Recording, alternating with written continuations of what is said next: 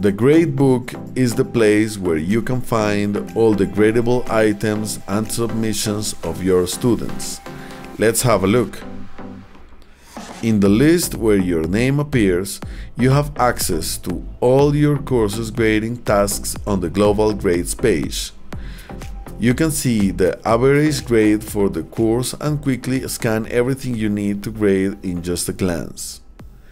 Inside your course, you can access the course gradebook from the navigation bar.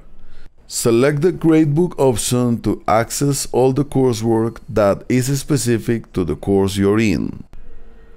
You can grade coursework, manage items, and post grades from either the student grid or item list view.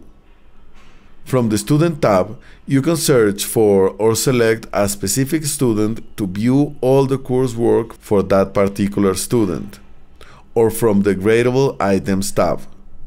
Select an item to begin reviewing submissions. You can search for a student or group and use the filter menu to display only those submissions that need grading. Next, select the student's name to open the submission.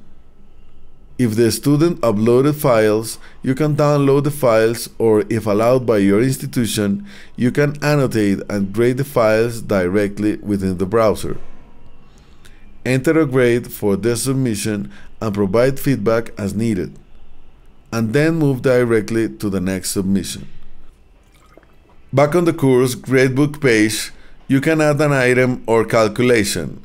And finally, from the gradebook settings panel, you can make changes to the default letter grading schema and enable the option to assign automatic zeros for past due work. You can also create and manage grade categories and rubrics.